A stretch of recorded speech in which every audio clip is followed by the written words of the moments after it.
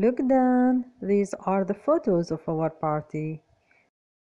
Wow, I love fun parties. This is my cousin Laura. She's got a yellow crown and a purple dress. Who's got the red mask? Mark has. He's got black trousers.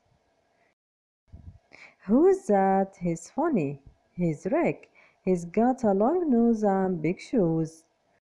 Where are you, Ronnie? Here I am. I've got ears and a small hat. I'm the clown.